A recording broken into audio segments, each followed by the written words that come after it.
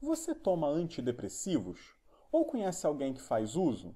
Hoje vamos conhecer mais sobre esses medicamentos.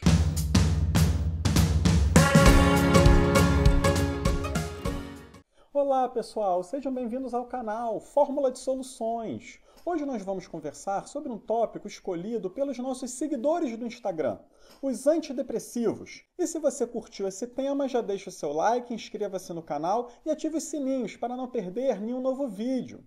E antes de nós começarmos a conhecer sobre esses medicamentos e suas atuações, vamos conversar brevemente o que ocorre no organismo humano no transtorno depressivo. A depressão é o sentimento de tristeza profunda e um dos seus sintomas é a perda do interesse de realizar atividades que em momentos anteriores traziam prazer ela pode levar a diversos problemas emocionais ou físicos e reduzir a capacidade das pessoas de executar as atividades normais, no trabalho e em casa. Quando uma pessoa está deprimida, é porque o cérebro está sofrendo alterações químicas que desencadeiam sentimentos negativos e ele vai precisar de ajuda para voltar ao seu funcionamento normal. Essas alterações químicas elas ocorrem na fenda sináptica, aonde um neurônio libera neurotransmissores e outro neurônio capta essas substâncias, com os seus respectivos receptores.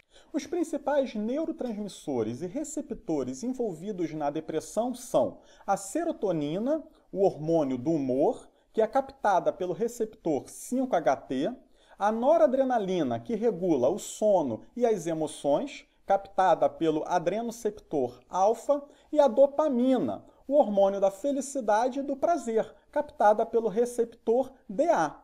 E quando há um desequilíbrio entre a produção e a captação desses neurotransmissores, a depressão se instala. Além desses, há receptores que impedem a permanência excessiva dos neurotransmissores na fenda sináptica. São os receptores de recaptação.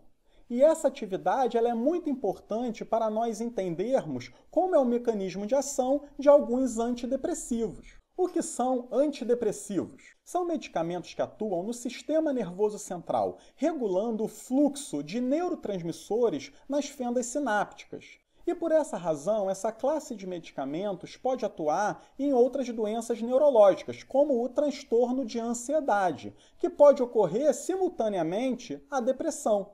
Ah, e só para lembrar, pessoal, nós vamos deixar no IGTV do Instagram o vídeo Mitos e Verdades sobre os antidepressivos. Então, quando acabar de ver esse vídeo, corre lá no Instagram para assistir a continuação. Os antidepressivos são divididos em classes, conforme o seu mecanismo de ação no organismo. Inibidores seletivos da recaptação de serotonina, ISRS. O mais conhecido dessa classe é a fluoxetina. Eles são os mais prescritos por serem os mais seguros e eficazes, e eles amplificam a ação da serotonina, pois inibem seletivamente a sua recaptação para o neurônio pré-sináptico o que aumenta o tempo da serotonina na fenda sináptica e, consequentemente, aumenta a sua ação e deve-se ter cautela ao administrar esses medicamentos a crianças e adolescentes com depressão, pois eles podem acarretar pensamentos suicidas. Inibidores da recaptação de serotonina e noradrenalina, IRSN. A duloxetina é um exemplo de medicamento dessa classe.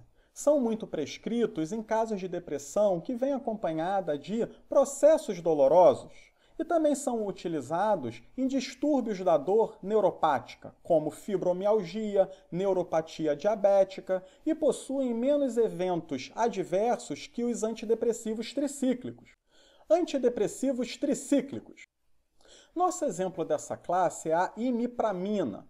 Eles eram os fármacos mais prescritos antes de surgirem essas duas outras classes que nós acabamos de falar. Hoje eles são mais utilizados em casos de processos dolorosos e da enurese noturna. Inibidores da monamina oxidase, IMAL, classe de antidepressivos que engloba a selegilina. As monamina oxidases são enzimas mitocondriais encontradas nos neurônios e nos tecidos. E nos neurônios, elas são responsáveis por degradar os neurotransmissores em excesso, a noradrenalina, dopamina, serotonina, aumentando o seu tempo na fenda sináptica e, consequentemente, o seu efeito. Devido ao risco de interações com fármacos e alimentos, os IMAL são considerados os fármacos de última escolha por diversos centros de tratamento. Antidepressivos atípicos atuam por diversos mecanismos que não se enquadram nos casos anteriores, como por exemplo a bupropiona, que bloqueia a recaptação de dopamina e noradrenalina, ou a trazodona, que antagoniza os receptores serotoninérgicos específicos 5-HT2. É importante dizer que geralmente os antidepressivos começam a fazer efeito após duas semanas de tratamento. E no início do tratamento, os antidepressivos podem causar efeitos colaterais. Comunique ao seu médico todos os efeitos que você esteja sentindo e o mais importante, gente, Nunca abandone o tratamento sem orientação médica. Vale lembrar que os antidepressivos, eles são recursos paliativos. Portanto, não vão levar à cura, somente ao controle ou à redução dos sintomas. Em geral, para doenças ou problemas de saúde mental, a abordagem psicológica é fundamental. Gostaram do vídeo? Deixem as suas dúvidas e comentários aí embaixo. E façam igual aos nossos seguidores do Instagram e deixem ideias de novos vídeos para nós gerarmos conteúdos de qualidade. Se inscrevam no canal Fórmula de Soluções e curtam o Facebook e o Instagram. Um grande abraço a todos, pessoal!